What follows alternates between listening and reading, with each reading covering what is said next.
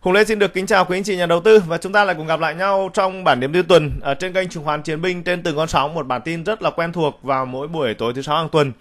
À, và à, trong bản tin này thì chúng ta sẽ cùng à, đánh giá nhìn nhận lại à, cái góc độ những góc cạnh ở trong à, tuần vừa qua và chúng ta cùng à, đánh giá thêm xem thử là cái xu hướng thị trường trong tuần mới thì thị trường nó sẽ đi về đâu hoặc là thị trường nó uh, có trả cung lấp gáp ở những cái vùng nào và À, các cái điều kiện à, tiên quyết để thị trường của chúng ta có thể bước vào một cái giai đoạn phục hồi ngắn của thị trường ờ, thì đấy là những cái câu chuyện mà chúng ta sẽ chia sẻ và chúng ta cũng sẽ chia sẻ thêm. Ở những cái khó khăn uh, những cái tồn tại hiện tại của thị trường thì những cái, cái cái chia sẻ đó thì chúng ta sẽ dành ở phần cuối bản tin. Thì như thường lệ thì bản tin của chúng ta cũng sẽ có 3 phần. Nội dung thứ nhất đó là chúng ta sẽ đi view các cái danh mục khá là cơ, căn bản của thị trường uh, từ uh, nhóm cổ phiếu trụ một số các ngành cơ bản như là ngành bán lẻ ví dụ như là uh, ngành thép uh, ngành bất động sản xây lắp hạ tầng rồi uh, nhóm cổ phiếu dầu khí nhóm cổ phiếu uh, ngân hàng nhóm cổ phiếu chứng khoán. Còn thời gian thì chúng ta sẽ view thêm uh, nhóm phân đạm và nhóm hóa chất. Thì đấy là một số trong những cái uh, nhóm ngành nó rất là căn bản về về về thị trường của thị trường ở phần thứ hai thì chúng ta sẽ view lại kịch bản phân tích tuần trong tuần video số 149 để chúng ta xem thử trong tuần vừa qua thì thị trường của chúng ta đã diễn biến tích cực hay tiêu cực và các cái vùng hỗ trợ kỹ thuật của chúng ta uh, hiện tại nó đang ở các cái ngưỡng như thế nào.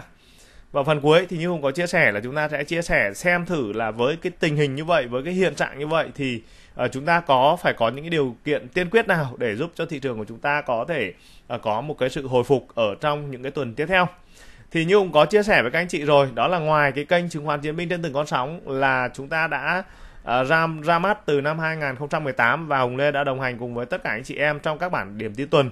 Thì ở uh, trong tuần vừa qua trong tháng tháng này thì cũng có ra thêm uh, một cái kênh đó là Hùng Lê chứng khoán. Thì để tránh cái việc là uh, chúng ta bị nhầm lẫn thì trên cái kênh này thì chúng ta chỉ có phân tích những cái bản tin rất là ngắn à, về xu hướng thị trường ở trong ngày ví dụ như là nó có những cái tín hiệu đặc biệt hoặc là trong phiên nó có những cái yếu tố kỹ thuật nào đó hoặc là một cái nhóm ngành nào đó nó có những yếu tố kỹ thuật thì ông sẽ dành thời gian để ông phân tích những cái bản tin ngắn đâu đó nó khoảng tầm độ 15 đến khoảng tầm 20 phút hàng ngày.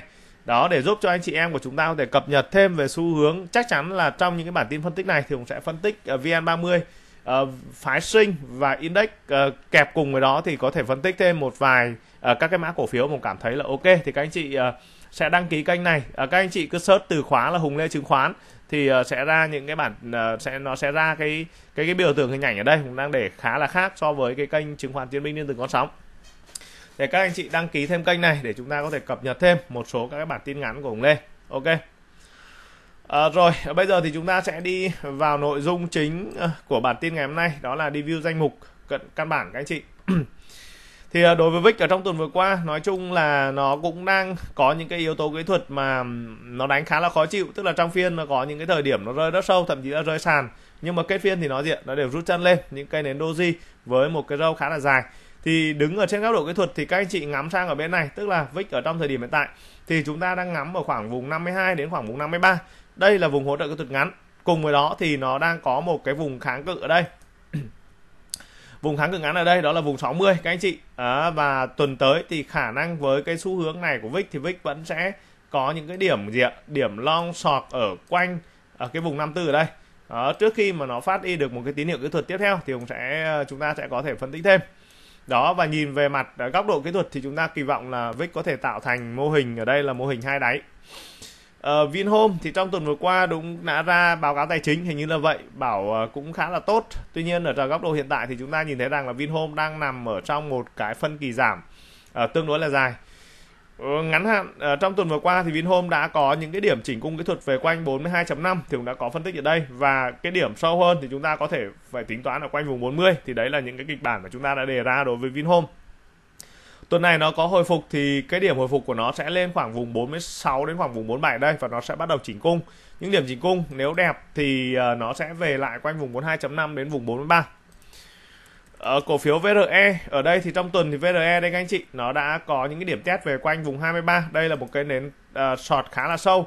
Thì chúng ta nhìn thấy cái điểm mút nến này là ở mút 22 thì bên này nó khả năng nó sẽ có ở vùng 22 đến khoảng vùng 22.5 trên góc độ kỹ thuật thì ờ, những cái điểm hồi này nó có thể hồi lại quanh vùng 25 và khả năng thì nó sẽ tiếp tục quay trở lại chỉnh cung test nền lại ở quanh vùng 23 vùng 22 vùng 22.5 thì đấy là những cái dự báo của cổ phiếu này.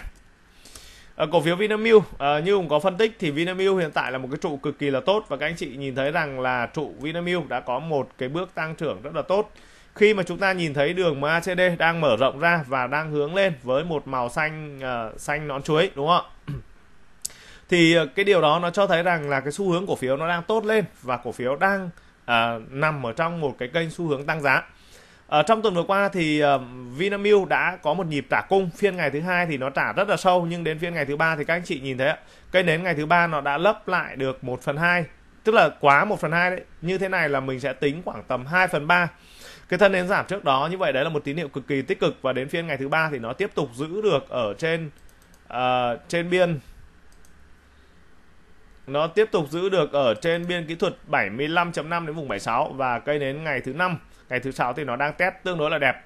Với lực kéo như này thì Vinamilk tuần tới nó sẽ chỉnh cung lại quanh vùng 77 là đẹp. Các anh chị nhá, nó sẽ test cung. Nếu nó nó gọi là test sâu, test khỏe là nó sẽ về quanh vùng 77 trong ờ, và sau đó nó sẽ hướng lại vùng 78 và vùng 80 và trụ Vinamilk là một trụ rất là đẹp ở trong thời điểm hiện tại. VDC thì trong tuần vừa qua thì nhìn chung là hai tuần. À, thì nó tiếp tục là những vùng đi ngang và chúng ta có phân tích ở quanh vùng 106.5 đó các anh chị nhìn thấy cứ đã chạm 106.5 thậm chí là vùng 106 nếu như chúng ta mà có cổ phiếu này mà đánh gọi là T0 thì cũng vui phết đấy đó các anh chị.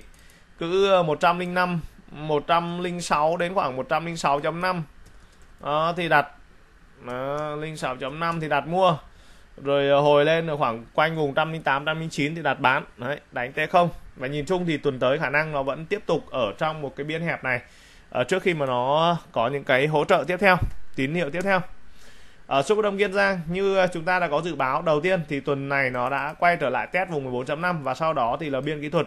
Ở đây của nó là biên 13 đến biên 13.5 thì hiện tại là SKG đang đi về ở trong cái biên này à, ngắn hạn thì nó đã có lực long ngắn ở đây nó long lên vùng 15 à, ờ, tuy nhiên là theo quan điểm kỹ thuật cùng thì sau những cái điểm mà long kỹ thuật này thì xu hướng là cổ phiếu nó sẽ quay tiếp tục quay trở lại ở quanh vùng 14 khỏe thì sẽ quanh vùng 14 và nó tiếp tục đi sideways nếu đẹp thì nó sẽ tiếp tục đi sideways ở trong cái nền này trước khi mà cái lực cầu nó phải quay trở lại chứ lực cầu hiện tại của em này đang mất hút khoảng được khoảng tầm 300 à 58.000 cổ phiếu trên một phiên thì như thế nó sẽ khá là khó để mà cổ phiếu có thể có một cái xu hướng phục hồi còn ở góc độ kỳ kỳ kỳ vọng thì các anh chị nhìn thấy đây trong một cái nhịp chỉnh ở bên này thì khi mà chạm về ở vùng 10 3.5 đến vùng 14 thì uh, cổ phiếu này đã bật tăng trở lại và ở đây cũng như vậy. Vậy thì để mà xác nhận được cái cái sự bật tăng ở đây thì sau những cái điểm long lên sọt xuống và nó bắt đầu phải xây cao lên dần, tức là những cái vùng test ở 14 14.5 nó phải test thành công.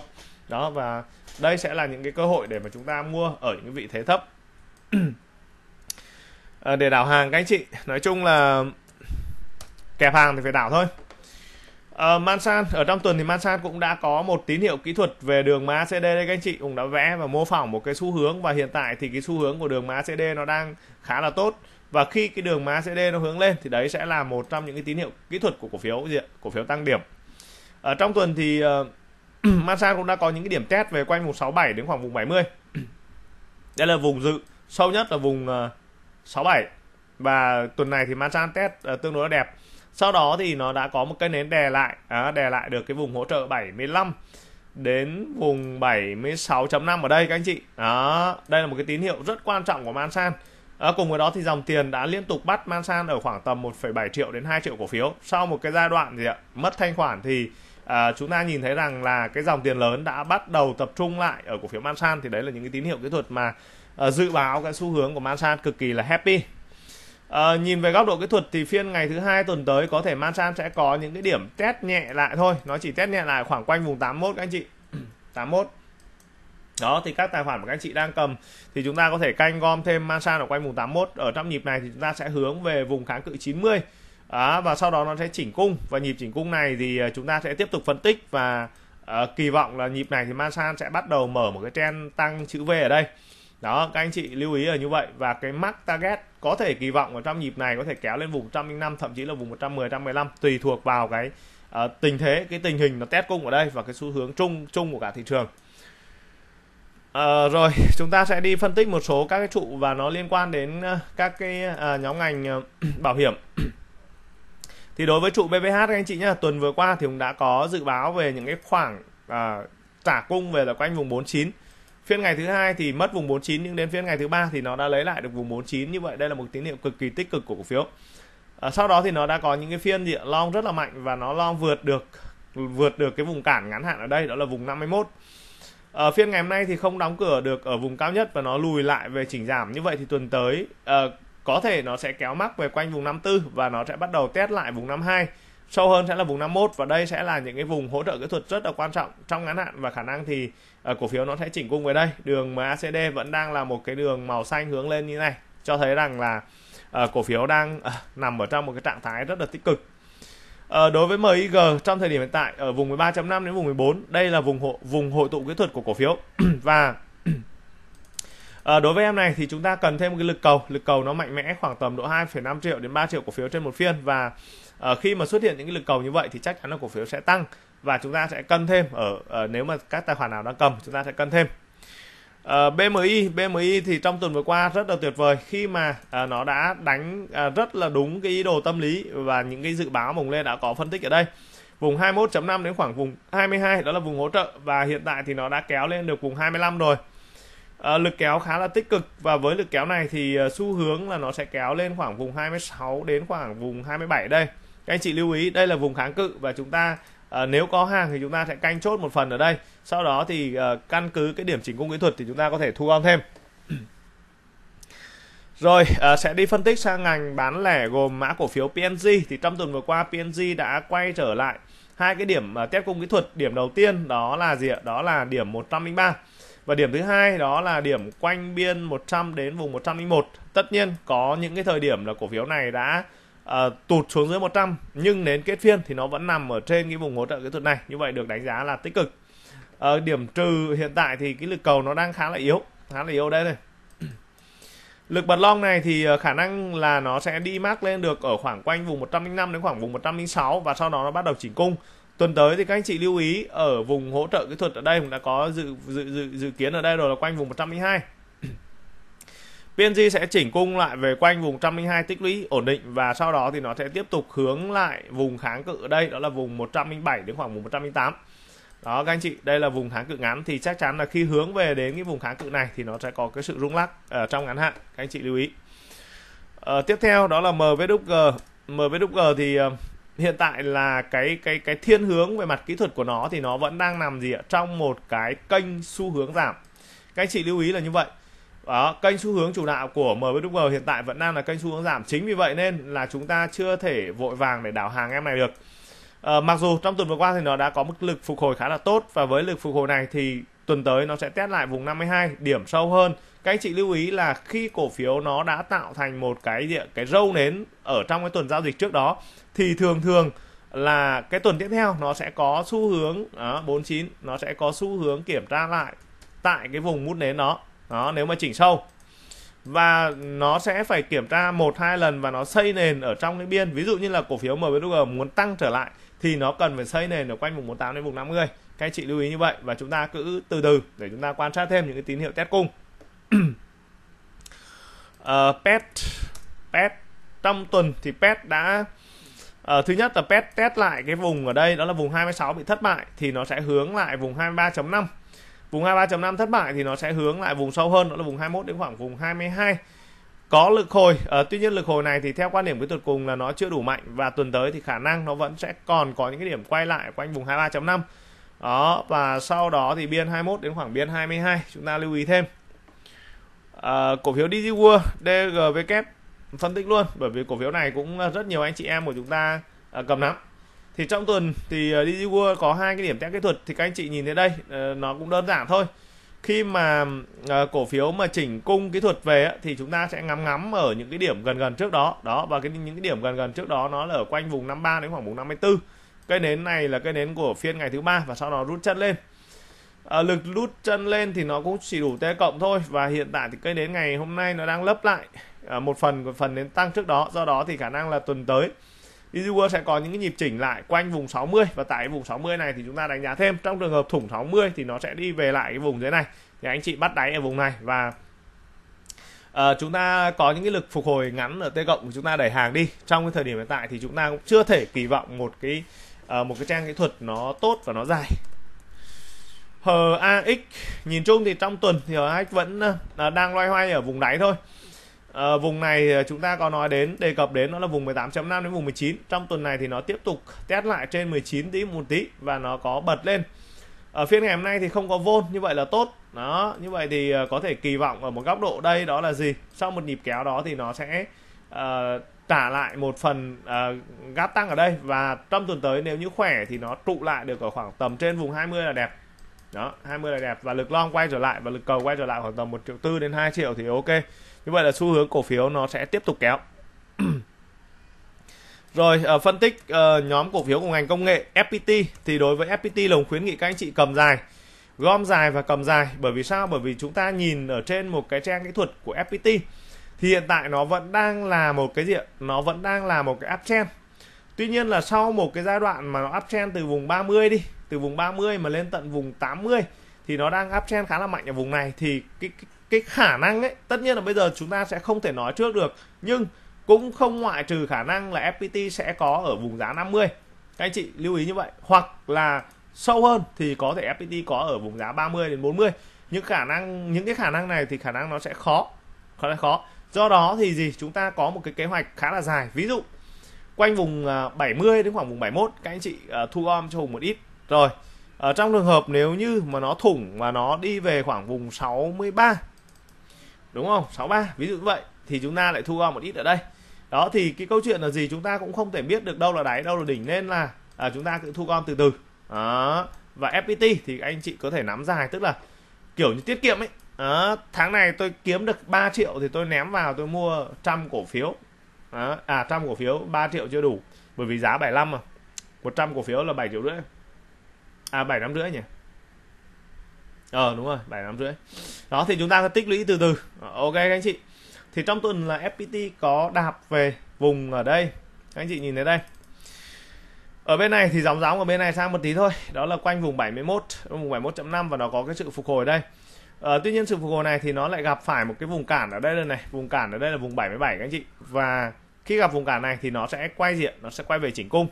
Và những cái điểm chỉnh cung kỹ thuật đẹp thì nó sẽ chỉnh về quanh vùng 75 hôm nay đóng đúng 75 luôn. Và cái điểm nó sâu sâu hơn một tí thì có thể tính toán ở quanh vùng 74 và kỳ vọng nó xây được ở quanh vùng 74 đến khoảng vùng 75 để nó để nó làm gì? Để nó hình thành một cái phân kỳ tăng ngắn hạn ở đây. Thì khi nó hình thành được cái phân kỳ tăng như vậy á thì khi đó chúng ta sẽ có những cái cơ hội để chúng ta gom góp thêm. Đó còn đối với FPT thì các anh chị cứ cầm dài. Ờ, uh, CMG thì cũng không có gì ờ, đột biến cả. Trong tuần vừa qua thì nhìn chung ở quanh vùng 38.5 đến khoảng vùng 40 đây vẫn là đang là những cái vùng hỗ trợ kỹ thuật của cổ phiếu. Um, rồi bây giờ thì uh, chúng ta sẽ đi phân tích sang một cái nhóm ngành uh, cũng rất quan trọng và nó cũng gọi là bình dân đó là nhóm ngành thép. Thì các anh chị biết rằng là hiện tại thì giá thép thế giới của chúng ta đang cắm đầu và đang giảm rất là mạnh. Và với cái việc mà giá thép giảm mạnh như vậy ấy, thì ngành thép nó sẽ gặp khó khăn. Đó nó sẽ gặp khó khăn. À, do đó trong ngắn hạn thì chúng ta sẽ chưa thể có có được một cái kỳ vọng về một cái bức tranh tươi sáng về nhóm ngành thép đâu các anh chị. Hôm nay thì như là Hòa Phát đã ra báo cáo tài chính rồi đó, và bắt đầu bị lợi nhuận âm. Hình như là như vậy. Hùng cũng chưa xem rõ, tại vì thấy các bạn có chia sẻ nhưng mình chưa đọc rõ như vậy thì chúng ta cũng thấy rằng là một cái bức tranh rất là khó khăn của nhóm cổ phiếu thép. Cho, do đó thì trong thời điểm ngắn hạn thì chúng ta chưa thể đánh mạnh được và chúng ta sẽ phải à, dòm ngó thêm hoặc có đánh thì chúng ta sẽ đánh, chia sẻ những cái nhịp đánh t cộng ngắn như thế này thôi. Đây là những cái nhịp t cộng anh chị. Rồi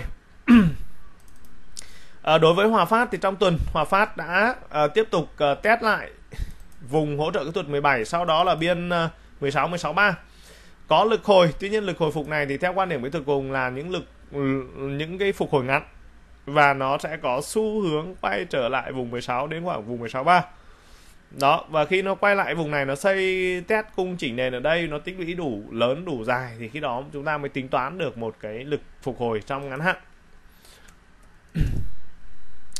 Hoa Sen uh, trong tuần thì Hoa Sen cũng đã chính thức là gì ạ? quay trở lại vùng hỗ trợ kỹ thuật 11.5 đến vùng 11.8 và sau đó thì đã có một cái lực long. Uh, tuy nhiên cây nến ngày hôm nay, cây nến kết tuần thì gần như nó đã phá vỡ hết cái nỗ lực tăng giá của ngày hôm qua, tức là hôm qua tăng kịch trần nhưng hôm nay lại giảm á, giảm hình như cũng giảm mạnh á. Uh, và như vậy thì để mà nó nó tạo được một cái phân kỳ tăng trong ngắn hạn, phân kỳ tăng trong ngắn hạn thì trong tuần tới thì nó sẽ có cái xu hướng đó, có xu hướng là à, cái gì nhỉ? À, kiểm tra lại tiếp tục là quanh vùng 12.4 và điểm sâu hơn nữa là khoảng quanh vùng 12 thì xu hướng của nhóm thép là sẽ quay trở lại à, quay trở lại test nền. Nam Kim ngày hôm nay cũng xấu bởi vì sao nó đã lấp lại hết cái nỗ lực tăng điểm trước đó? Tất nhiên nó chưa xấu hẳn bởi vì sao? Bởi vì nó vẫn đang giữ được cái biên 14.4 đến vùng 15 tức là biên dưới là biên 14.4 như vậy thì sang tuần tới Nam Kim sẽ tiếp tục kiểm tra lại vùng hỗ trợ 14.4 ở đây trong trường hợp nếu như mà nó bị phá vùng 14.4 và 14 này nó bị phá thì chúng ta phải tính toán một cái trường hợp một cái xu hướng nó xấu hơn đó là Nam Kim sẽ về tích lũy lại ở khoảng quanh vùng 12 đến khoảng vùng 12.5 à, VGS VGS ngày hôm nay thì có chỉnh cung. Thì trong tuần vừa qua thì VGS là gì? Ở thứ nhất đó là nó sẽ test lại đây quanh vùng 12 12 thủng thì nó sẽ đi về biên 9.2 đến khoảng vùng 10 Ờ, và nhìn trên thiên hướng kỹ thuật đó, sau một cây nến kéo lên với lực lực vôn cũng không thực sự là lớn và đây nó đang là có cái nến test thứ nhất và khả năng nó sẽ có thêm một hai cái nến test ở sau nữa tức là tuần tới nó sẽ quay trở lại vùng 10 và biên 9.5 đi ta lấy biên 9.5 cũng được. Ta lấy biên 9.5 đến biên 10 đấy là cái vùng test kỹ thuật của ờ, uh, VGS ở trong tuần tới. TVN ngắn hạn cũng không có nhiều yếu tố đột biến. Ở trong tuần thì TVN đã chỉnh suy sát về quanh vùng 5.3 và nó có long lại được quanh vùng 6. Như vậy trong ngắn hạn thì nó sẽ đi ở trong biên 5.3 5.5 cho đến khoảng vùng 6 và nó đi trong cái biên này nó sideways như vậy cho đến khi mà chúng ta có thêm những cái tín hiệu kỹ thuật tiếp theo. Ờ, à, TLH trong tuần thì TLH đã chỉnh cung về quanh vùng 6 đó là cái vùng mà chúng ta có dự báo đúng không? Và nó có một cây nến hồi và một cây nến xả cho đến ngày hôm nay thì nó đã xả tương đối là xấu. À, xả tương đối là xấu và à, một cái dấu hiệu mà để chúng ta quan sát cái xu hướng của cổ phiếu nó rất là đơn giản thôi các anh chị. À, chúng ta đừng có đừng có đừng có máy móc quá đừng có nhiều cái indicator quá. Đó chúng ta chỉ cần nhìn đường MACD thôi. Đường MAC mà nó đang có cái xu hướng gì nó đang cắm đầu đi xuống như này. Thì thông thường là cổ phiếu một là đi ngang hai là chỉnh giảm. Đó.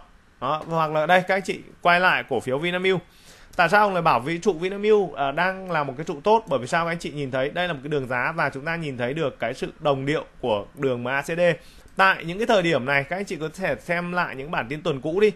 Uh, 147 148 thì cũng lại có nhấn mạnh những cái tín hiệu tích cực của cổ phiếu Vinamilk. Nó chỉ đơn giản như vậy thôi. Đó thì nhóm thép trong thời điểm hiện tại là các anh chị lưu ý. Chúng ta cầm thì chúng ta lưu tâm đến cái cái tín hiệu về giá thép thế giới.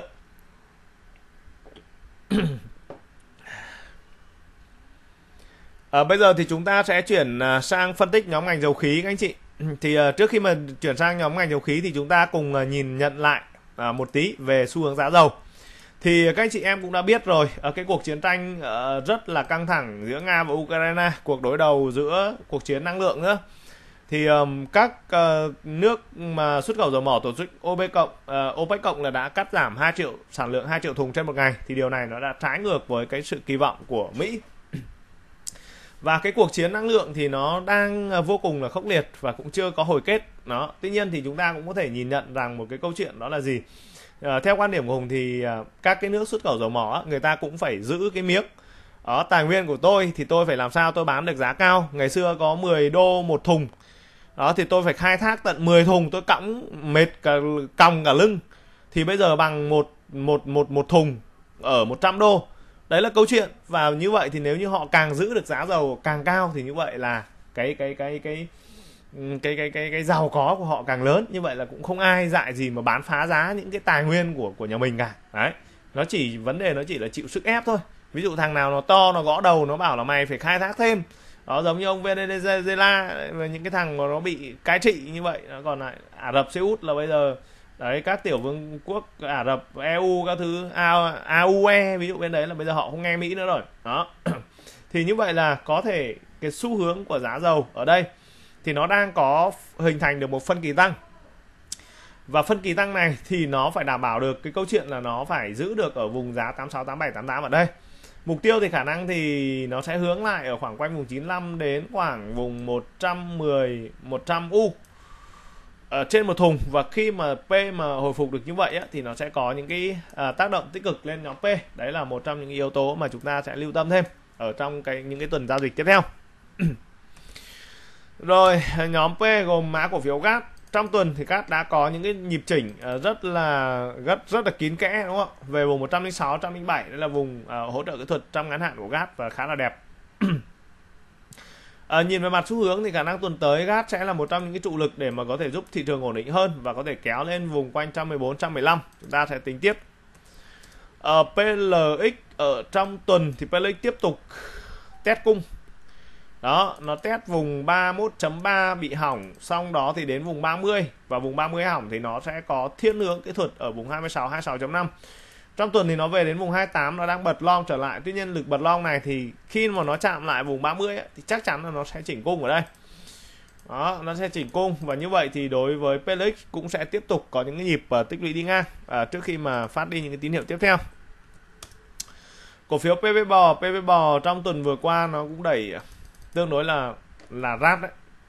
Đấy nó về 15 sau đó thì uh, nó về biên 13 năm 14 có lực long lên tuy nhiên lực long lên như thế này thì chưa ổn lắm.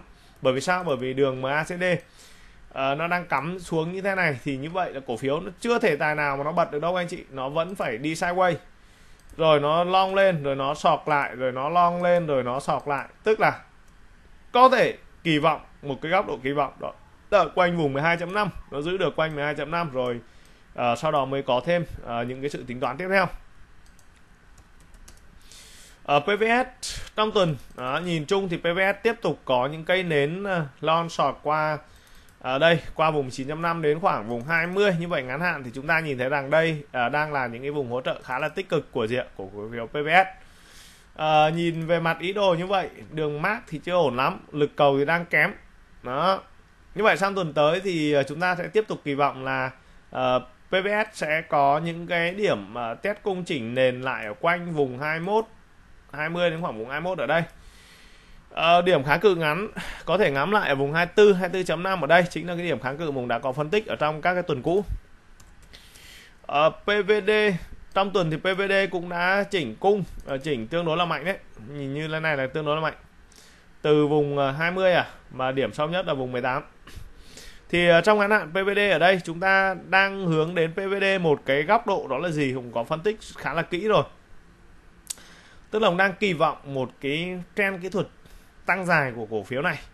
Và khi mà nó nó đáp ứng được những cái tiêu chí, ví dụ như là các tuần giao dịch tiếp theo PVD sẽ ở trên khoảng vùng 7.5 đến vùng 18 và sau một cái giai đoạn mà lực cầu nó bé bé thế này thì nó sẽ xuất hiện lại những cái phiên mà nó giao dịch khoảng tầm độ 17 đến khoảng 20 triệu cổ phiếu trên một phiên rồi, đó thì đấy sẽ là những cái dấu hiệu mà để giúp cho chúng ta nhận diện những cái xu hướng tiếp theo. Và nếu như các anh chị học về kênh xu hướng thì chúng ta cũng có thể là nối một cái đường như này. Đó để chúng ta à, hiểu được rằng à như vậy khi PVD nó vượt lại được cái vùng ở đây, vùng 21.5 đến vùng 22.5 ở đây thì đấy sẽ là những cái thời điểm mà à, nó sẽ mở ra một cái trend. Đó. Tất nhiên là để chờ đợi cái điều này thì nó chúng ta cần phải đánh giá được và chúng ta chờ đợi những cái tín hiệu kỹ thuật nó phải break được những cái vùng cản này. Ở khi đó nó mới mở trend được chứ còn nếu mà không break được thì cũng làm sao mà có trend đúng không anh chị? Đó. Ờ, à, BSR trong tuần thì nhìn chung là BSR à, có hai điểm test các anh chị. À, trong phân tích kỹ thuật thì như vậy thôi. Điểm 1 là 18 điểm 2 mà thủng vùng 18 thì chắc chắn dự báo là ở vùng 15 đến khoảng vùng 16 và trong tuần thì nó chỉ mới đi về đến vùng 16.5 vùng lại thôi có lực long ngắn. Tuy nhiên lực long ngắn này thì um, nó chưa đủ mạnh.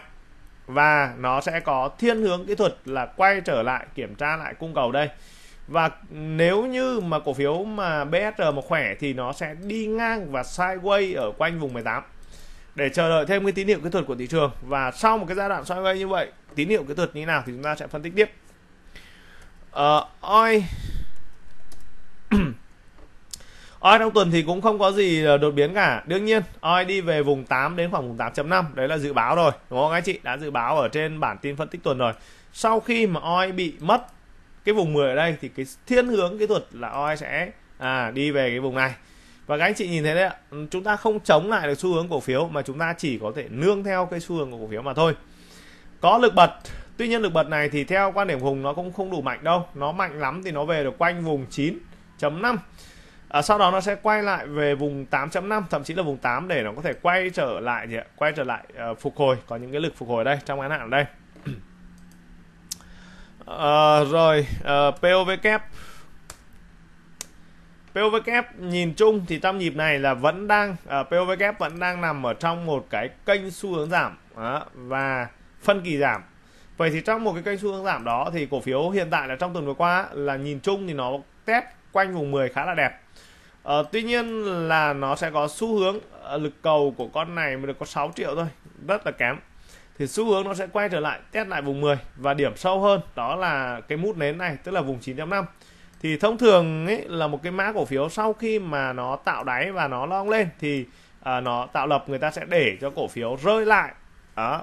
Một là rơi lại quanh quanh cái ngưỡng 1 phần 2 của cái nhịp tăng trước đó. Hai là nó sẽ rơi hết lại đó. Rồi hết lại thì sẽ quanh vùng 9.5 như vậy đấy sẽ là những cái điểm test mà chúng ta lưu tâm đến các tuần giao dịch tiếp theo. Rồi à, bây giờ thì à, chúng ta sẽ đi phân tích sang một cái nhóm ngành rất là quan trọng à, đó là nhóm ngành bất động sản xây lắp hạ tầng.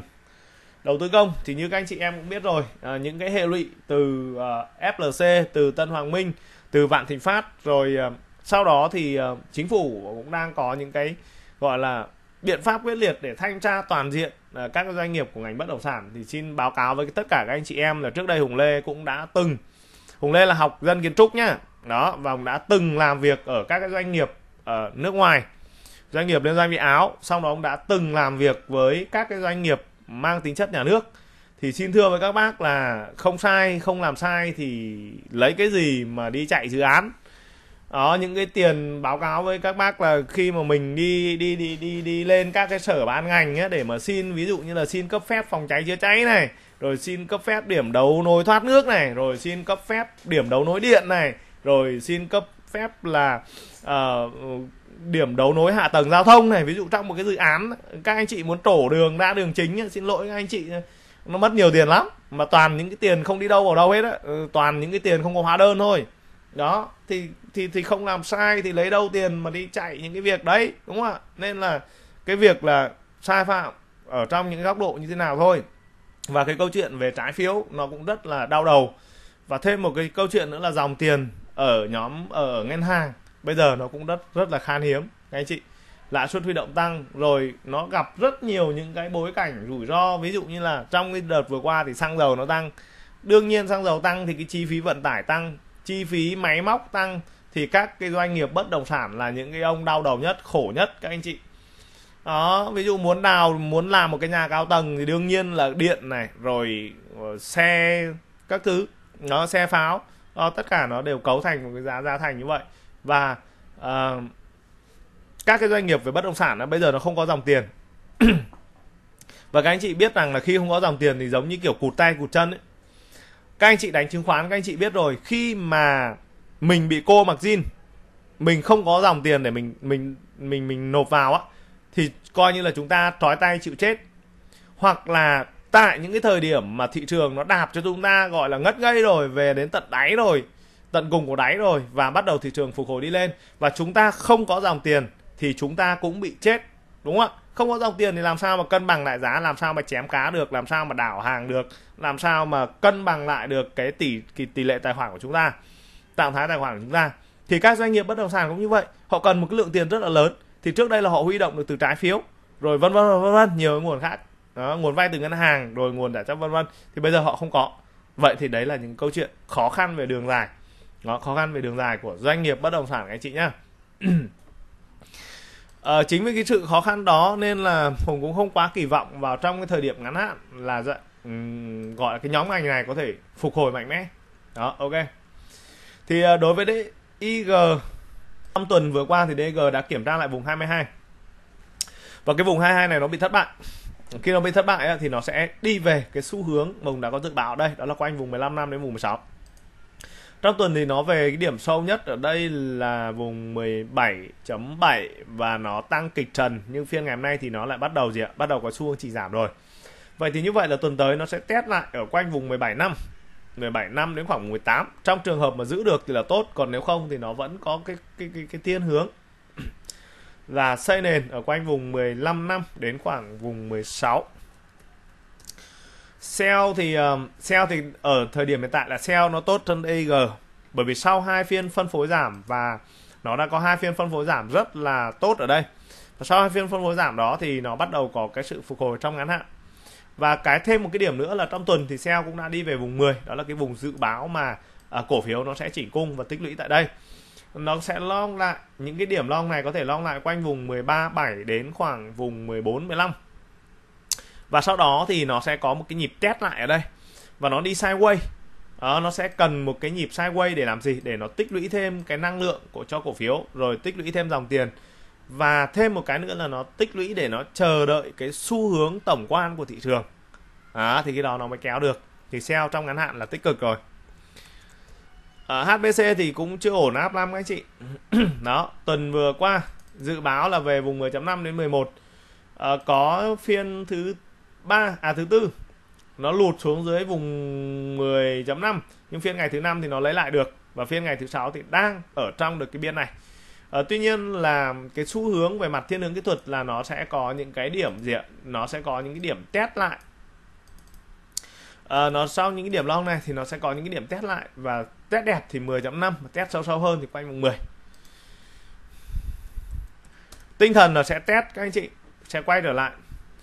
Đất xanh thì trong tuần đất xanh cũng đã chính thức quay về vùng 12.5, điểm sâu hơn thì quanh vùng 12 và có lực hồi ngắn. Lực hồi này thì có thể đưa cổ phiếu lại về lại 14.5 đến khoảng vùng 15. À, và sau đó thì cổ phiếu sẽ chỉnh cung tích lũy lại nền ở quanh vùng 12 12 năm, chưa bật được đâu.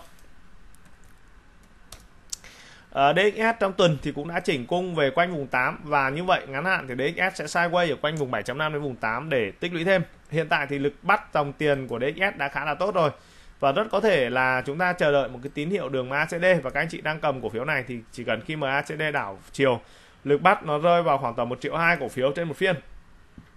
Đó, triệu hai, triệu ba gì đó là cái tầm đó là có thể quay trở lại được rồi. SCR trong tuần cũng đã quay về vùng 5.7 cá biệt thì có về về vùng 5.5 và nó có một cái lực phục hồi ngắn đây lực phục hồi này thì có thể đưa cổ phiếu về khoảng quanh vùng 6.5 và sau đó nó diện nó sẽ chỉnh cung đi sideways và tích lũy ở khoảng quanh vùng 6 đến khoảng vùng 6.5 ờ, trước khi mà nó hình thành được một cái diện một cái phân kỳ tăng ở đây. Đó nó phải có thời gian. Và chúng ta cần thời gian để chúng ta đánh giá xem là à như vậy mày có hình thành được cái phân kỳ tăng ở đây không? Hay là mày mày chỉ hồi đều đều thế này xong đó là mày lại cắm đầu đi xuống như thế này.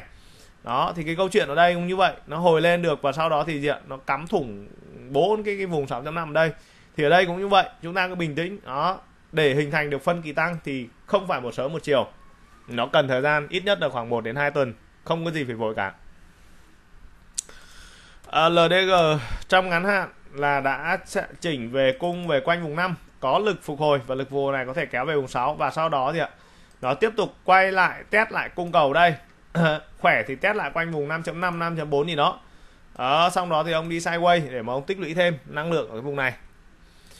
C2 hiện tại thì đang ờ, gặp cái hỗ trợ ở đây. Tuy nhiên là lực cầu đang kém quá 15 15 4 và với cái thiên hướng hiện tại á, thì ông sẽ cần phải quan sát thêm cái động thái tích lũy nền ở đây. Và khi nào mà nó xuất hiện những cái lực cầu nó phải đạt khoảng tầm từ 8 triệu đến khoảng tầm 10 triệu cổ phiếu trên một phiên thì đấy sẽ là những cái thời gian để chúng ta giúp cho chúng ta nhận diện cái gì cái kịch bản mà cổ phiếu này phục hồi. Ờ, uh, NBB NBB trong ngắn hạn đánh cũng phập phù quá. Uh, hơi phập phù đúng không ạ? Dòng tiền ở trong cái nhịp này thì nó đánh khá là tốt rồi. Đi sideways và đi xây được cái vùng uh, đi xây được cái nền 17 17.5 khá là tốt để có những cái cơ sở đánh vượt vùng 23 Nói chung ở trong thời điểm hiện tại thì N77 đang hình thành được một cái biên tích lũy và khả năng sau cái biên tích lũy này thì nó mới có con sóng to to à, kỳ vọng là như vậy thôi. Thì ở đây cũng như vậy. Sau một cái biên tích lũy ờ, tương đối là tốt thì ờ, NBB có một cái lực tăng cũng từ vùng 16 mà lên tận vùng 50 ấy khá là tốt. Thì chúng ta cũng có thể kỳ vọng vào nhịp này. Quanh vùng uh, 15 15.5 vẫn là hỗ trợ ngắn hạn của NBB ba mã cổ phiếu tiếp theo gồm có mã cổ phiếu FCN thì trong tuần là FCN cũng đã quay trở về vùng 10 và cá biệt thì nó đã có những cái điểm test tương đối sâu ở quanh vùng 9 à, trong cái kịch bản mà chúng ta phân tích kỹ thuật ý, thì Hùng có đề cập đến một cái khả năng là cái trường hợp nếu như mà FCN bị thủng vùng 10 á thì nó sẽ đi về 9 nhưng mà cái điểm sâu hơn của nó sẽ sẽ có thể à, hướng tới đó là vùng 7.3 đến khoảng vùng 7.5 đó tức là chúng ta phải chuẩn bị những cái kịch bản xấu nhất để chúng ta này à như vậy là nếu như có bắt đáy thì thì sao? Thì trong trường hợp xấu là nó về đến vùng 73 75 thì có chịu được không? Đó nếu không chịu được thì đừng có bắt nhá đấy. Ờ, cái lực phục hồi này thì sẽ đưa về vùng 10 và tuần tới thì khả năng nó sẽ test về vùng 9 test lại. Cần phải test lại và nếu như nó về vùng 9 mà nó long lại được thì như vậy là ngắn hạn thì chúng ta sẽ kỳ vọng ở đây đó là nó sẽ đi sideways ở quanh vùng 9 đến khoảng vùng 10 đó sideways vùng này xong thì khi đó thì mới tính toán tọa độ. VCG hai cây trần. À xin lỗi cả nhà hôm nay không đóng trần được hôm nay bị tụt trần tụt trần ATO ATC thì ờ, đối với VCG ờ, trong tuần nó lần lượt kiểm tra vùng 15 sau đó thì nó sẽ hướng đến vùng 12.5 đến vùng 13 Ờ, xa xa hơn một tí thì về đâu đó đến vùng 13.55 thì bắt đầu long lên. Lực long này thì uh, nó sẽ chạm lại đây là vùng 15.5 vùng 16 là vùng kháng cự ngắn. Trước đây nó là vùng hỗ trợ thì về đây là vùng kháng cự bởi vì những cái ông mà mua phải bên này là khi cổ phiếu hồi về đây là các ông mang hàng ra các ông táng chính vì như vậy nên là tuần tới thì khả năng sẽ có những nhịp chỉnh quanh vùng 14 rồi à, sau đó tích lũy chỉnh nền sideways đi ngang đó, là à, à, vòng vo tam quốc ở đây chán chê mê mỏi. Rồi à, thị trường nó bắt đầu nó hình thành được những cái điểm tăng dần tăng dần như thế này. Đó rồi khi mà nó hình thành lên được những như vậy thì chúng ta mới ngắm là à như vậy là ngắn hạn là ông này ông có phân kỳ tăng ngắn hạn rồi. Như vậy căn cứ vào lực cầu ví dụ có những phiên bắt khoảng tầm 12 13 triệu cổ phiếu. Thì đấy là những thời điểm mà chúng ta cân Ờ, C4G ở đây có lực bật có lực bật trong tuần thì ờ, nó về khá là sâu quanh vùng 76 à, ờ, tuy nhiên à, hiện tại thì chúng ta vẫn đang nhìn thấy rằng là cái lực cầu nó đang khá là thấp chính vậy cổ phiếu chưa thể tăng mạnh được. Nhìn chung nếu như khỏe thì nó sẽ quay trở lại khoảng quanh vùng 8 đến vùng 8.5 đấy là khỏe. Còn nếu yếu thì sẽ uh, quay lại vùng 8 và dự kiến thì nó vẫn còn những cái nhịp test cung mà đi sideways ở đây uh, trước khi mà nó hình thành được một cái lực tăng. Uh, cổ phiếu HDG HDG thì ở đây À, đầu tiên chúng ta nói đến vùng 30, thủng vùng 30 thì nói đến vùng 27.4, thủng vùng 27.4 thì nói đến vùng 25. Thủng vùng 25 thì nói đến vùng 20 và hiện tại ở trong tuần này thì chúng ta mới uh, nói đến vùng 25 thôi và nó đã gì ạ? Uh, tại vùng 25 thì nó đã có một cái lực long. Uh, tuy nhiên lực long này thì theo quan điểm kỹ thuật cùng là nó cũng chưa đủ tê thôi. Uh, mạnh á, thì nó về lên vùng 30 31 sau đó nó chỉnh cung test lại quanh vùng 274, điểm sâu hơn có thể vùng 25. Rồi từ đây thì chúng ta mới bắt đầu uh, tính toán tiếp để xem là xem là ờ, ông test về đây có test thành công không hay là ông thủng. Ví dụ như là khi mà nó chỉnh cung về đây mà nó lại xuất hiện một cái cây nến mà nó nó nó đặc quánh mà nó đỏ như thế này ví dụ thế. Đấy thì chắc chắn là là vùng 20 thì không phải bàn cãi gì cả. Đó. Và không ai chống lại được cái xu hướng này cả. Nó sẽ về 20 nếu như xuất hiện cây nến đẻ 25 như này thì nó sẽ về 20 HDC trong tuần kiểm tra 30 thất bại thì nó sẽ hướng vùng 25 25 thất bại thì nó sẽ hướng vùng 23 và trong tuần thì đang tạm thời là đang đậu lại được ở trên 23 cộng. Lực kéo mắc có thể kéo về chạm vùng 30 31 và sau đó thì thì nó lại bắt đầu uh, có những nhịp test cung kỹ thuật quay trở lại ở khoảng khỏe thì sẽ quanh vùng 27 yếu yếu thì sẽ về quanh vùng 25 mà yếu hơn nữa thì sẽ quanh vùng 23 đó thì chúng ta phải chờ đợi thêm những cái tín hiệu ờ, test cung ở đây thì khi đó chúng ta mới khẳng định được. À à, như vậy là cổ phiếu có tăng được không? À, phân kỳ tăng đã hình thành chưa? Đó. Rồi à, Nam Long NLG Nam Long ở đây thì cũng uh, trong tuần thì nó tiếp tục uh, test lại vùng 22 và tuần tới thì khả năng nó sẽ sideways quanh vùng 22 KDH KDH thủng vùng 23.5 thì chúng ta sẽ hướng vùng 20 đến khoảng vùng 20 ờ, mấy ta? 21 trong tuần vừa qua thì về đến vùng 21 và có bật long. Lực bật long này mắc thì nó sẽ chạm được vùng 23.5 đến khoảng vùng 24 sau đó nó sẽ test lại, khỏe thì test lại vùng 22 xấu hơn thì kiểm tra lại vùng đáy quanh vùng 20 đến khoảng vùng 21 ở đây. Rồi nó đi sideways.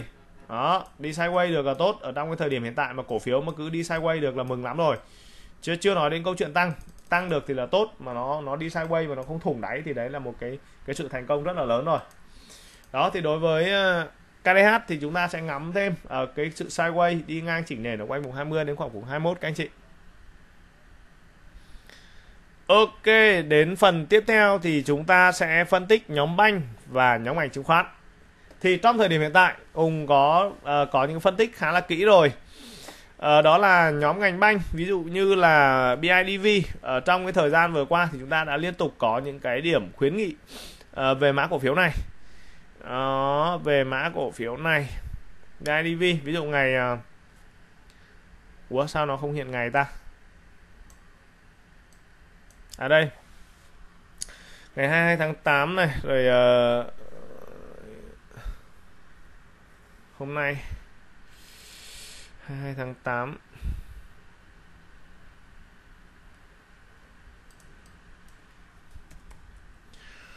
bit là chúng ta, đây 30 tháng 8 13 tháng 10 14 tháng 10 đó, ví dụ ngày 13 tháng 10 là chúng ta cũng đã có những cái tín hiệu phân tích về mã cổ phiếu BIDV ở quanh vùng 30 31 30.5 đến vùng 31 đấy là những cái tín hiệu dành cho các cái tài khoản của chúng ta cân thì trong thời điểm hiện tại là nhóm banh bắt đầu hình thành phân kỳ tăng ngắn hạn à, chính vì vậy nên là các anh chị cầm banh thì như vậy là sau những cái điểm mà chúng ta đã có tiếp cận lại uh, nhóm banh uh, nếu như như hùng nhớ không nhầm thì khoảng tầm từ vùng 10, ngày uh, cuối um, tháng 9 có những mã cổ phiếu thì từ tháng tháng tháng 9 tháng 10 13 tháng 10 đấy là những cái vùng mà chúng ta đã bắt đầu có những tiếp cận về mã cổ phiếu uh, nhóm banh. Bit này ví dụ MBB này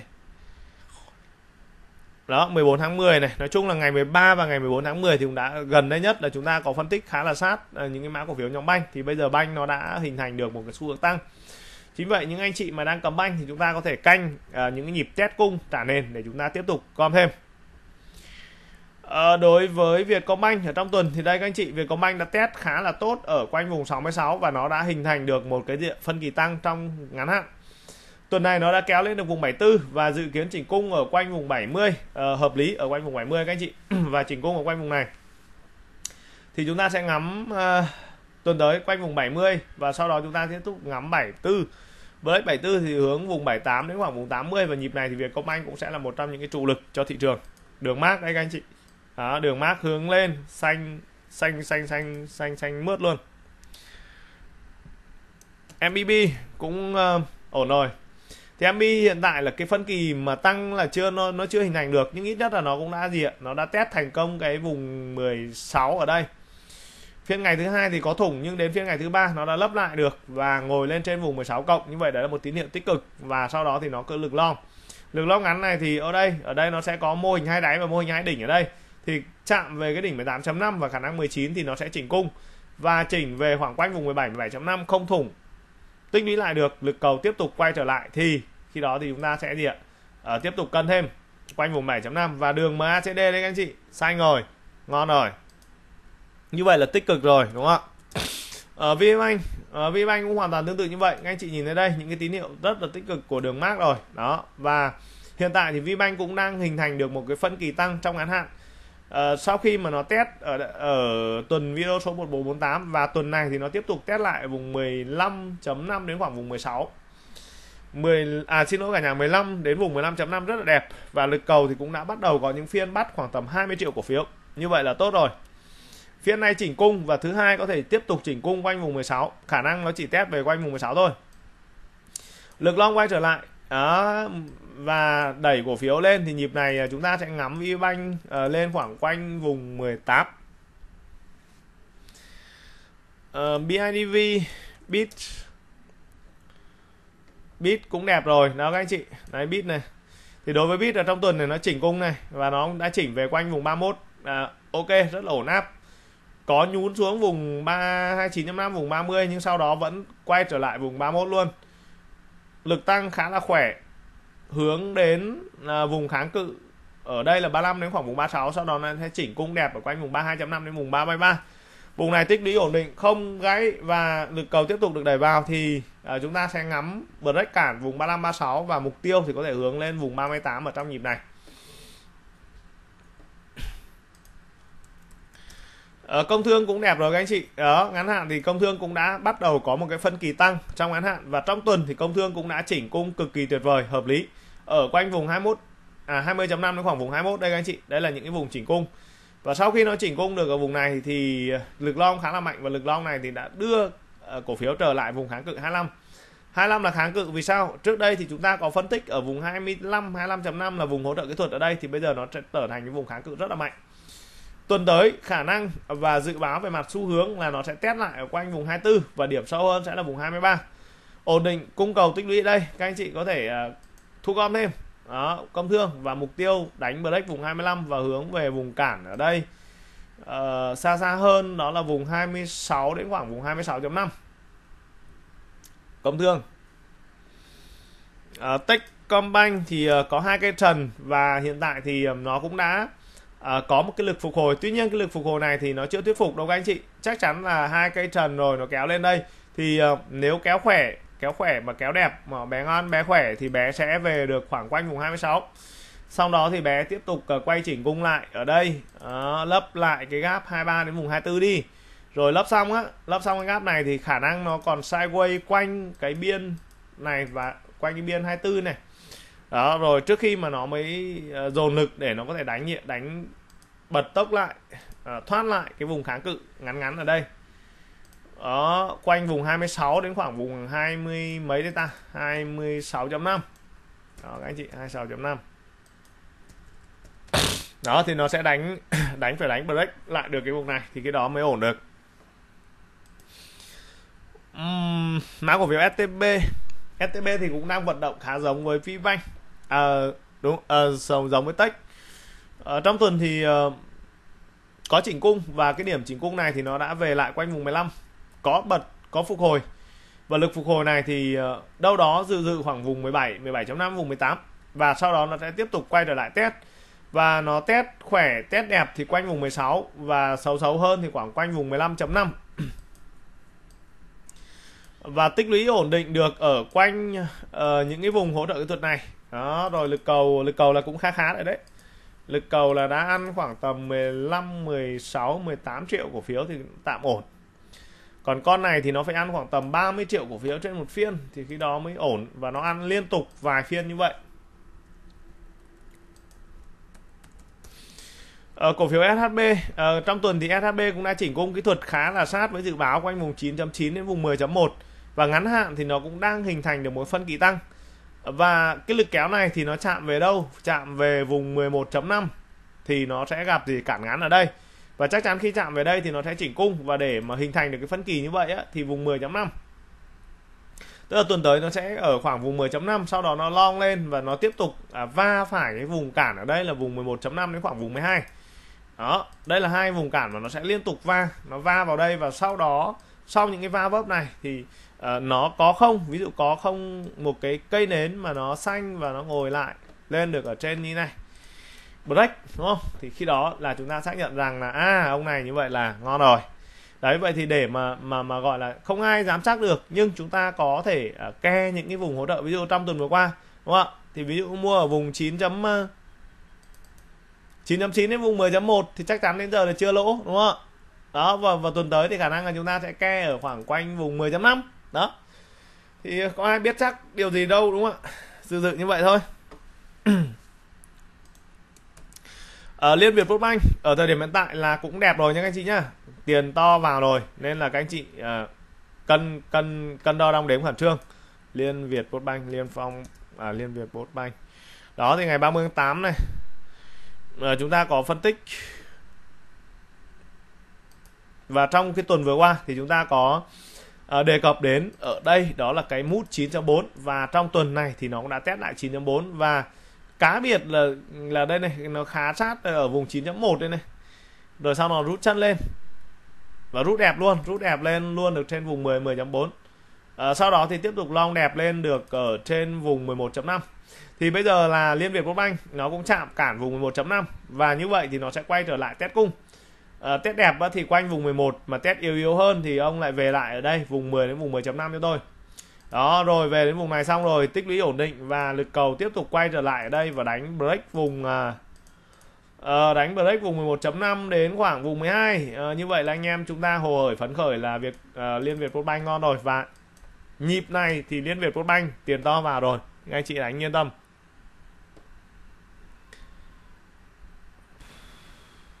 Như vậy thì uh, sang tuần tới nhóm banh sẽ là một cái trong những cái nhóm trụ lực uh, theo quan điểm của tôi cùng như vậy.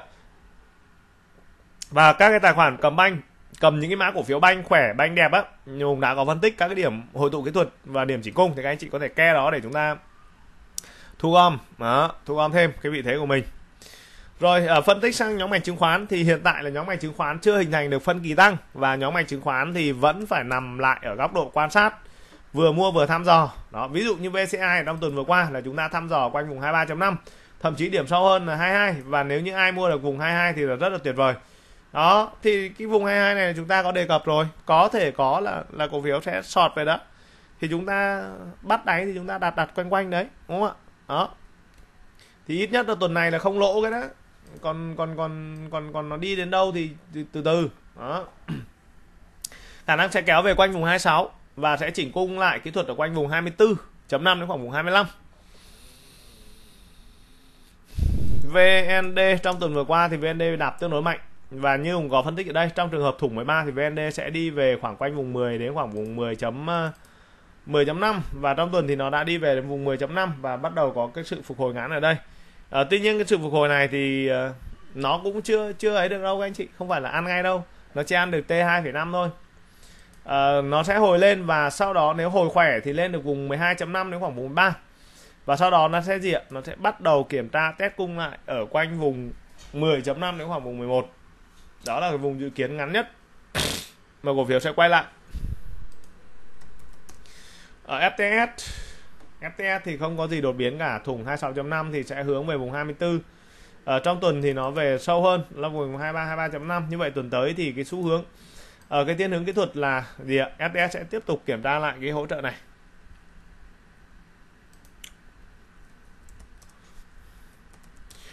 Ờ, uh, SHS như vậy là SHS trong tuần thì đã về vùng 6.5 đó là vùng mà dự báo về mặt dự báo kỹ thuật. Có lực hồi uh, tuy nhiên lực hồi này thì uh, nó sẽ va vấp vào hai cái cản ngắn. Đó trước đây là hỗ trợ thì bây giờ nó sẽ trở thành cản cản 8 cản 8 và cản 9 đây là hai cái cản tương đối mạnh. Nói chung là cửa ải mà vượt được hai cái thằng này thì cũng cũng càng go phết đấy. Đó vậy thì uh, như vậy thì nôm na chúng ta có thể uh, dự dự một cái kịch bản nó tương đối là tốt.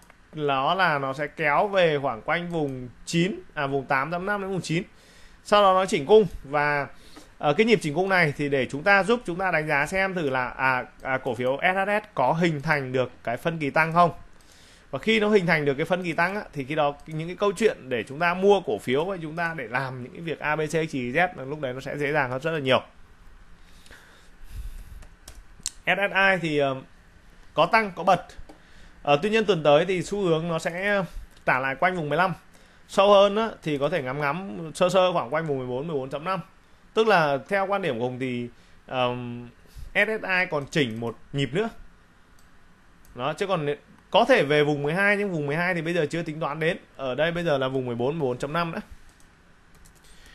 HCM thì tuần tới xu hướng uh, vẫn là quay lại chỉnh cung. Đó. Trong tuần vừa qua thì HCM đã về khá sát với vùng dự báo kỹ thuật ở quanh vùng 17 17.5 và đang có một lực long. Lực long ngắn này thì sẽ đưa lên được ở khoảng quanh vùng 20 sau đó thì nó sẽ quay trở lại uh, chỉnh cung chỉnh khỏe chỉnh đẹp. Đó, tìm vùng 19 không thì sâu sâu hơn thì ở vùng 18.4 và chúng ta sẽ đánh giá thêm cái khả năng tích lũy tạo nền xây nền của cổ phiếu HCM ở quanh vùng 84 các anh chị. À, MBS MBS ở đây trong tuần đó, à, có hai cái điểm chỉnh cung một là vùng 12 và đây không biết là nến đều hay nến thật bởi vì là à, mấy ông ở trên sàn HX là hay có cái kiểu là 100 cổ phiếu sàn ở đầu phiên sau đó kéo lên. À, nhưng nhìn chung ở đây thì vùng 10.5 đến vùng 11 tạm gọi là vùng hỗ trợ kỹ thuật. À, tuần tới SBS à, MBS có thể kéo quanh lên vùng 14 và sau đó nó chỉnh cung lại quanh vùng 12 và nó hình thành một cái nhịp sideways đây ngắn hạn để tích lũy đi thêm. Uhm, CTS ở đây CTS ở đây trong tuần ờ, thì như các anh chị đã biết rồi khi mà CTS bị vỡ vùng 13 thì nó sẽ có những cái điểm gì ạ? Uh, đi về lại ở quanh vùng 10.5 đến vùng 11 và trong tuần vừa qua thì cổ phiếu này đã đi về đến vùng hỗ trợ kỹ thuật khá là sát ở đây. Đã xuất hiện những cái lực bắt uh, tương đối ổn đó là gì? Nó đã có cái lực cầu vượt trung bình 21 phiên. Như vậy là tạm ổn. Ngắn hạn những cái lực long uh, sẽ kéo cổ phiếu này lên khoảng quanh vùng 12 uh, sau đó nếu chỉnh cung đẹp uh, chỉnh cung đẹp thì sẽ tích lũy lại ở quanh quanh vùng 11 và uh, nó cũng sẽ tiếp tục phải đi sideways uh, quanh một cái thời gian nào đó. Uh, nó tích lũy đủ lớn đủ mạnh rồi. Khi đó lực cầu uh, cung cầu. Uh, nó đánh khoảng tầm độ uh, cứ liên tục khoảng tầm 1,5 triệu đến 2 triệu đi. Khi đó câu chuyện nó sẽ khác và cái tín hiệu đường MACD bắt buộc nó phải chuyển pha xu hướng. Đó là một trong những cái tín hiệu quan trọng để giúp cho chúng ta nhận diện cái khả năng phục hồi của cổ phiếu. Các anh chị nhìn thấy đây. Đây cũng là một cái diện một cái giai đoạn mà đường MACD nó quay trở lại cái sự phục hồi. Và khi cái sự phục hồi này thì nó cũng sẽ tương ứng với đường giá. Chúng ta có một cái trend tăng à, rất là tốt, rất là tối ưu trên này.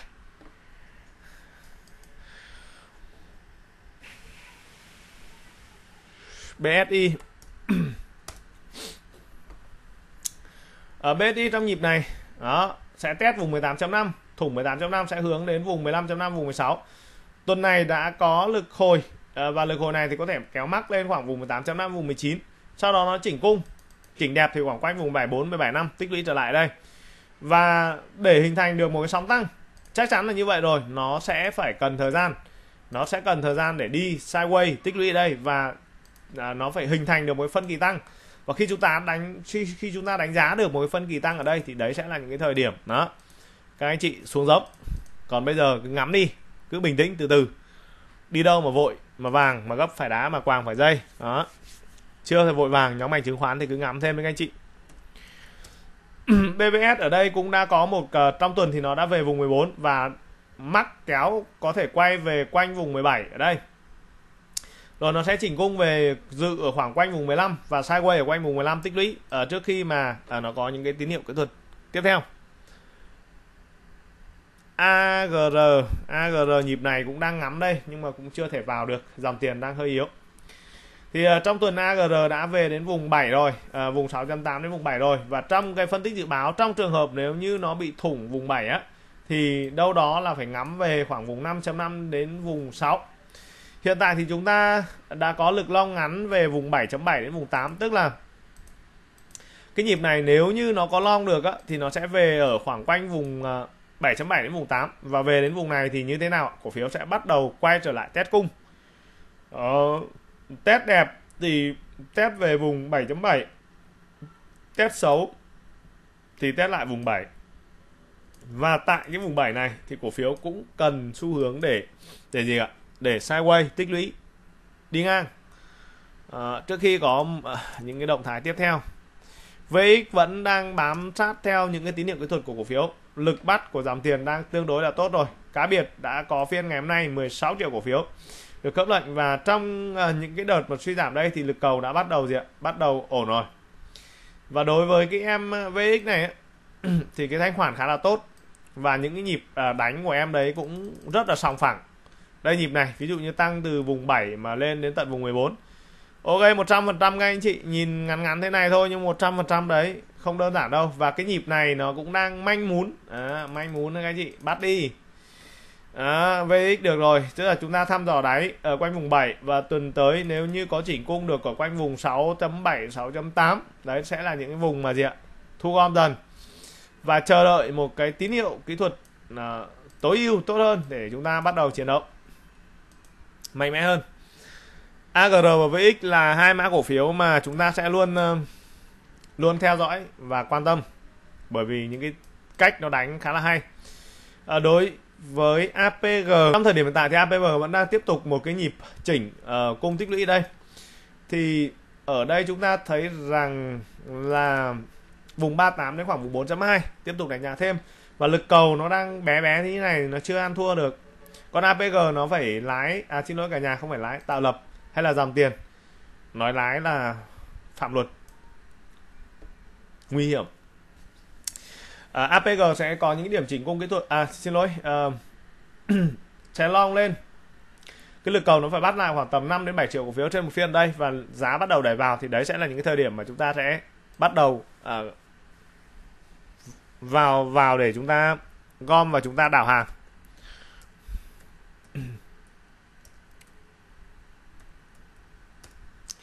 ORS à, 2 tuần sideways đi ngang ở quanh vùng 8.5 đến vùng 9 như vậy là tốt rồi. Ờ, và nó cần cái sự sideways như vậy đi ngang để nó tích lũy. Đó, và sau đó thì sẽ cần thêm những cái lực cầu khoảng tầm từ 3,5 triệu đến 4 triệu cổ phiếu trên một phiên. Ở đây đã có một cái lực à, bắt của tay to và bắt đầu nó xáo trộn lại để nó sóc cho những cái ông nào mà đua theo á, thì bay out ra luôn. Và rất có thể là sau một cái giai đoạn như vậy tạo lập nó sẽ tiếp tục uh, có một phiên đánh uh, vượt thoát vùng 10 và đấy sẽ là những cái thời điểm để cho những anh chị em mà đang cầm ORS thì bắt đầu uh, tiến lên. Ở TCI nó đánh những cái nến khá là buồn cười. Uh, tuy nhiên thì uh, nhìn về đường mark này đó là nó đang hướng lên này lực cầu bắt đầu khá khẩm hơn này quanh bảy tám trăm nghìn rồi.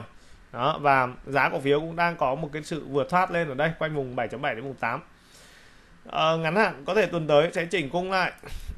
quanh vùng 7.2 đến khoảng 7.35 hoặc thậm chí là 7.4 đó thì cái vùng này thì uh, ke ke để mà những cái tài khoản nào mà chúng ta đang cầm mà chúng ta ke vùng này để chúng ta bắt. Mục tiêu uh, sơ sơ ngắn hạn thì ngắm lên khoảng vùng ờ, uh, 8.7 đến vùng 9 đó, sau đó thì nó sẽ chỉnh cung và chúng ta sẽ uh, tiếp tục phân tích cái xu hướng tiếp theo. Ok hiện tại là 1 giờ 1 giờ 05 phút rồi. Thì uh, ông sẽ đảo nhanh qua uh, cái nhóm ngành uh, phân bón cho anh chị nắm thêm. Đạm Cà Mau ở trong tuần vừa qua thì Đạm Cà Mau đã quay trở lại vùng hỗ trợ kỹ thuật ở đây vùng 294 vùng 30 nó đang có lực long ngắn và lực này thì sẽ tiệm cận là vùng 34 đây là vùng kháng cự và đây là một cây nến chỉnh giảm. Ở như vậy thì sang tuần các anh chị lưu tâm ở trong trường hợp nếu thủng vùng 32 thì chúng ta nên bán. Không thủng thì cứ cầm. Ở trong thời điểm hiện tại với đạm cà, cà mau thì các anh chị chỉ ke bắt hỗ trợ và ke vùng kháng cự để bán ra. À, đạm phú mỹ. Trong tuần thì đạm phú mỹ đã test về ở đây là vùng 42 và sau đó lực bật lon tuy nhiên cây nến ngày hôm nay thì khá là xấu. Ở như vậy xu hướng tuần tới thì nó sẽ kiểm định lại quanh vùng 43.5 Lát thì chưa có nhiều yếu tố đột biến đâu. Trong tuần thì Lát đã chỉnh về quanh vùng 7, 6.5 vùng 7 và nó bắt đầu có sự phục hồi đây. À, tuy nhiên sự phục hồi này thì nó sẽ tiếp tục sideways quanh vùng 8. À, ờ, BFC, BFC thì à, cũng nhìn tín hiệu khá khẩm hơn rồi. Như vậy là điều chỉnh của BFC về quanh vùng 15 nhưng trong tuần thì nó về 15.5 16 có lực long và lực long, long ngắn này thì nó sẽ đưa cổ phiếu về lại vùng cản ngắn ở đây đó là vùng khoảng quanh vùng 18.5 à, à, tại vùng cản ngắn này thì à, cổ phiếu nó sẽ bắt đầu có cái gì ạ có sự chỉnh giảm ở đây à, chỉ giảm khỏe thì test lại vùng 17 mà xấu xấu hơn thì quanh vùng 16.5 à, ờ, và nó cũng cần có cái sự sideways à, ờ, đi ngang tích lũy ở quanh cái nền hẹp ở đây trước khi mà à, nó có các cái lực cầu nó mạnh mẽ hơn và nó chờ đợi cái xu hướng tổng quan của thị trường. Đó rồi. Hai mã cổ phiếu hóa chất gồm mã cổ phiếu CSV Ờ, à, CSV hiện tại thì nó cũng đang hình thành được một phân kỳ tăng trong ngắn hạn. Đường MACD cũng đang hết sức là tích cực. Như vậy đấy là một cái mã cổ phiếu đáng để ờ, đầu tư. Ở trong tuần thì chúng ta có thêm những điểm gom quanh vùng 36.5 đến vùng 37 rất là đẹp và nó tiếp tục có một cái điểm long thứ hai. Ở phiên ngày hôm qua thì long vượt vùng 40 phiên nay thì lại nhả lại cung. Và chúng ta tính toán được những cái điểm nhả cung đẹp và dự kiến ở khoảng quanh vùng 38 đến khoảng vùng 38.5 đó tuần tới mà nó tích lũy thành công ở vùng này và sau đó lực long lại tiếp tục đẩy vào và đưa cổ phiếu break lại vùng 40 lần hai thì đấy là tín hiệu kỹ thuật rất là ok của cổ phiếu này. Ờ, à, DGC trong tuần thì DGC cũng đã test lại vùng 71.5 thành công và có lực long. Lực long này thì đưa cổ phiếu chạm lại vùng kháng cự 80 và nó chỉnh cung. Những cái điểm chỉnh cung tuần tới thì có thể tính toán là quanh vùng 75 5 ờ, mà ổn định rồi. Ờ, à, lực cầu tiếp tục quay trở lại thì lúc đó chúng ta sẽ hướng kháng cự 80 và thậm chí nhịp này sâu hơn, xa hơn thì sẽ hướng về vùng 90 như vậy thì ờ, tạm thời danh mục cổ phiếu tuần thì chúng ta sẽ tạm dừng tại đây, các anh chị. Và tất cả những mã cổ phiếu nào các anh chị quan tâm mà chưa được cùng Lê phân tích ở trên bản tin tuần thì các anh chị có thể comment ở bên dưới dòng thời gian bản tin. Cũng sẽ dành thời gian để trả lời tất cả câu hỏi của anh chị. Ok, bây giờ thì chúng ta sẽ đi đánh giá qua ở tuần video số 149 các anh chị 149 thì uh, trong bản tin tuần video số 149 thì Hùng đã có uh, phân tích một số các cái yếu tố kỹ thuật một số các tác động ngắn hạn. Thì uh, như chúng ta đã biết sau một phiên bất thường phiên ngày thứ sáu thì nó sẽ phải uh, có thêm những cái sự kiểm định về mặt thị trường. Thì cũng đã có dự báo ở đây đó là VN30 uh, sẽ đầu tiên sẽ test lại 1.000 điểm và sau đó sẽ test vùng 980 uh, phái sinh sẽ kiểm tra lại mốc 980 khi mà phá sinh mà thủng 980 rồi á, thì nó sẽ về 960 rồi 970 và tại cái vùng này thì chúng ta sẽ đánh giá cái sự phục hồi. Index sẽ kiểm tra lại ở quanh vùng à, 1010 sau đó là biên 9 990 đến 980 và nhìn chung thì Hùng có nói rồi nhìn chung là biên 980 sẽ là một cái biên đánh giá rất là quan trọng của thị trường. Để chúng ta à, đánh giá xem xem là thị trường có cái sự phục hồi hay không. Trong trường hợp nếu thị trường bị mất vùng 980 thì đấy là một cái kịch bản rất là khó khăn của thị trường thì uh, như vậy thì chúng ta cùng uh, nhìn lại. Ở đây các anh chị cũng sẽ phân tích khá là kỹ. Cái này thì các anh chị uh, lưu ý một tí. Thì đây là bản uh, đây là cái toàn cảnh của chỉ số VN30. Thì ngay lập tức là trong cái phiên giao dịch của ngày thứ hai các anh chị nhìn thấy đây ạ. VN30 ngay lập tức là test xuống vùng 1.000 điểm và nó long lên. Điểm long ngắn này và sau đó nó kiểm tra lại vùng 1.000 điểm. Và khi 1.000 điểm đứt thì nó sẽ về vùng 980 tạm thời thì cũng sẽ dừng lại ở cái mạch 980 đối với chỉ số VN30 và sau đó cũng sẽ có thêm những phân tích tiếp theo. Còn đối với chỉ số phái sinh đó các anh chị thì uh, chúng ta sẽ uh, dự báo cái vùng ở 980 và khi vùng 980 mà bị thủng á, thì nó sẽ có xu hướng về đến vùng 960 và cái câu chuyện là thị trường khi mà nó rơi á, thì nó cứ rơi như vậy thôi. Vùng 960 mà bị mất thì nó sẽ đi về vùng uh, cân bằng tiếp theo ở 950 và vùng 950 bị mất thì uh, chúng ta sẽ tiếp tục ở vùng cân bằng 920 đến khoảng vùng 925 À, đối với chỉ số index ở đây thì chúng ta cũng thấy rằng là à, trong cái kịch bản phân tích thì hùng đã có dự báo rồi. Đầu tiên là chỉ số này sẽ test về ở quanh vùng 1010. Sau đó à, sau đó thì nó sẽ tiếp tục kiểm tra kiểm định ở cái vùng ở đây đó là vùng 980 à, đến vùng 990 ở đây các anh chị. Và khi cái vùng này nó bị thủng thì à, chúng ta sẽ phải tính toán đến đâu? Ví dụ đến vùng 9 à, 960 thì như vậy là trong phiên giao dịch ngày thứ hai là thị trường đã có cái sự diễn biến rất là xấu. Và để chuẩn bị cho phiên giao dịch ngày thứ ba tại sao hùng dừng mạch ở đó thì hùng phiên ngày giao dịch thứ ba thì hùng đã có uh, những cái uh, những cái cái cái cái phân tích. Ví dụ như là việc ngân hàng phá phá giá tỷ giá đồng tiền rồi việc lãi suất huy động tăng rồi hệ lụy từ Tân Hoàng Minh và trái phiếu rồi hệ lụy từ nhà đầu tư nước ngoài rồi hệ lụy từ Fed tăng lãi suất rồi hệ lụy từ câu chuyện là những ngân hàng nhà nước phải thu tiền về bởi vì bơm tiền ra là lạm phát, nó nó chết ngay, nên là phải thu tiền về. Thì đấy là tất cả, chúng ta thấy rằng là tất cả có những cái sự rất là khó khăn. Và VN30 thủng 980 thì nó sẽ hướng về 960 và sâu hơn sẽ là vùng 950 đây là cái bản tin phân tích vào ngày, sáng ngày thứ ba, trước phiên giao dịch.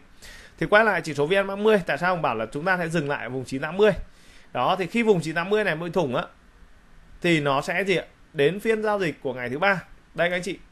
Thì chúng ta bắt đầu đánh giá về cái kịch bản là 980 bị thủng thì nó sẽ đi về 960 sau đó thì 950 và đúng phiên giao dịch ngày thứ ba thì VN30 về đến vùng đáy 950 và nó bắt đầu gì nó bắt đầu có một cái lực. Nó bắt đầu có một lực bật bật bật long ở đây. Đó, và chính thức là từ lực bật long này thì cái mẫu chốt của thị trường đó là vùng 950 của chỉ số VN30 À, cùng với đó thì ờ, chúng ta có tiếp à, cái vùng mẫu chốt của thị trường ở phái sinh đó là vùng 925 đến khoảng vùng 920 sâu hơn là 95 điểm. Thì trên chỉ số phái sinh thì chúng ta thấy rằng ở trong tuần vừa qua thì phái sinh về đến cái vùng sâu nhất ở đây là 930 930 điểm. Đó chưa về đến 925 và về đến đây thì bắt đầu ạ nó cũng song trùng với cái thời điểm bên kia là VN30 về đến 950 thì nó bắt đầu bật long và kể từ đây thì nó bắt đầu phái sinh nó có hình thành được một cái phân kỳ tăng trong ngắn hạn. Và kể từ đây thì phái sinh bắt đầu có một cái lực long rất là tốt. Còn đối với chỉ số index đó, chúng ta sẽ tính toán ở đây. Trong trường hợp nếu như index mà chúng ta bị thủng cái vùng 980 đó thì nó sẽ về đến cái vùng 960 và à, xa hơn. Đó, à, về đến vùng 9 à, 960 đây index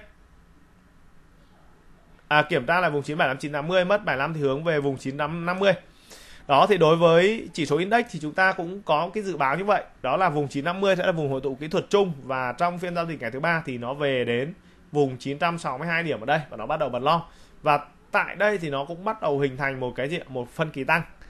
Ok như vậy là trong cái tổng quan nếu như các anh chị uh, chúng ta nhìn lại ở trong tuần video số 147 đến vùng 148 ở đây. Và tuần này là video số 149 thì trong tuần 147 149 à 147 148 thì index cũng hình thành được một phân kỳ tăng. Nhưng đến cái thời điểm mấu chốt vấn đề là nó test lại kỹ thuật ở đây nó bị mất. Nó bị mất vùng hỗ trợ kỹ thuật này. Như vậy nó đã bị phá vỡ cái phần phân kỳ tăng trong ngắn hạn. Như vậy thì tuần này nó cũng tương tự như vậy các anh chị. Tuần này nó cũng tương tự như vậy. Vậy thì uh, index nó sẽ phải quay trở lại ở vùng 1010 nó sẽ quay lại ở vùng 1010 này sau đó thì nó sẽ quay lại vùng 1.000 điểm và thậm chí sâu hơn, nó có thể quay lại ở vùng 990 đến vùng 1.000 ở đây. Tất nhiên là nếu như cái mức độ test càng sâu thì càng xấu. Test càng cao thì nó càng tích cực và càng khỏe. Ví dụ nó về vùng 1.000 điểm và sau bật long lên thì đấy là kịch bản tuyệt vời, đấy là kịch bản 10 điểm. Nhưng trong trường hợp mà về vùng 1.000 điểm á, mà nó không giữ lại được thì nó có thể về vùng 9 990 sau đó 975 và thậm chí là 960 thì câu chuyện là như ông có nói là nếu mà test càng sâu thì càng xấu và cái câu chuyện là cái vùng 960 này nó lại trở thành một cái vùng để xác nhận cái gọi là then chốt của thị trường có phục hồi hay không phục hồi thì nó nằm ở cái mốc 960 này của index và cái điểm quan trọng nhất trong phiên giao dịch ngày thứ hai đó là chúng ta sẽ kiểm định lại vùng 990, vùng 1000 và vùng 1110 điểm ở đây đối với chỉ số index. Và đối với chỉ số VN30 thì nó cũng hoàn toàn tương tự như vậy. Khi nó chạm về cái vùng kháng cự đây đó là vùng 1040 đến khoảng vùng 1050 thì thì sao? Thì thị trường sẽ có những cái điểm test cung kỹ thuật khỏe thì nó ông ông chỉnh về khoảng quanh vùng 1000 đến 1005 yếu hơn á, thì ông test lại cho tôi ở vùng 980 đến vùng vùng 990 đấy là những cái vùng test kỹ thuật khỏe để giúp thị trường hình thành một cái gì một cái phân kỳ tăng ở đây. Các anh chị lưu ý là như vậy.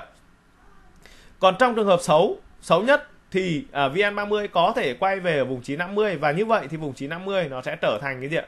Cái chìa khóa ở đây đối với chỉ số VN30 à, đối với chỉ số phái sinh thì phiên giao dịch của ngày thứ hai và ngày thứ ba tuần tới trong uh, hôm nay thì cũng đã có phân tích cái vùng kháng cự ở một ba một không ba tám đến một không bốn mươi. Đây các anh chị này đó một một không ba tám tại cái thời điểm mà 10 giờ 10 giờ thì cũng đã có phân tích uh, khá là kỹ. Ờ, các anh chị em ở đây 9 giờ 58 phút, các anh chị em mà đang đánh phá sinh thì chú ý đến cái vùng cản 1038 đến 1040 các tài khoản mà đang này chú ý thì là chúng ta đóng bớt vị thế long ở cái vị trí này này. Và phá trinh đẹp đó sẽ lắc về cái vùng hỗ trợ 1015 và các anh chị biết là khi mà chạm về gần vùng 1038 thì phá sinh đã lắc về vùng 1013 đấy, tốt quá, đúng không anh chị? Đấy là những cái phân tích rất là trực tuyến, rất là là là mãn nhãn luôn thì ở đây chúng ta thấy rằng là chỉ số tuần tới phiên ngày thứ hai nó sẽ kiểm tra lại quanh vùng 1000 và sâu hơn sẽ là vùng 980 đến vùng 990 và cái câu chuyện ấy là cái vùng như vậy là chúng ta kết luận lại là vùng 980 đến vùng 990 nó sẽ là một cái vùng then chốt để giúp cho chúng ta nhận diện cái xu hướng xu hướng tích cực của thị trường. Tức là test về đây và long lên thì đấy là 10 điểm đó quanh vùng 99 uh, 980 990 1000 điểm mà long lên là 10 điểm là 10 điểm. Thế còn lại là nếu mà nó test lại về quanh vùng 960 thì uh, được 5 điểm. Mà ờ, gọi là nếu mà như ví dụ phá sinh mà quay trở lại về vùng 930 rồi sau đó mấy hai chỉ số kia một thằng quay về 950 thằng 960 thì như vậy là không điểm. Tức là trả hết không còn cái gì nữa và cái câu chuyện nếu như thủng ở các cái vùng hỗ trợ kỹ thuật này thì coi như âm 10 điểm. Tức là gọi gọi là hỏng hỏng bét thị trường. Đó thì đấy là một vài cái góc nhìn mà chúng ta sẽ tiếp tục ờ, đánh giá thêm. Và có thể trong buổi chiều ngày thứ hai thì cũng sẽ có thêm cái một cái bản tin ngắn để phân tích để gửi đến ờ, các anh chị để chúng ta đánh giá thêm những cái kịch bản tiếp theo của chỉ số thị trường VN Index, VN30 và phái sinh. Ok, bản tin tuần này xin được uh, dừng tại đây và xin hẹn gặp lại tất cả anh chị em trong các cái bản điểm tin tuần tiếp theo.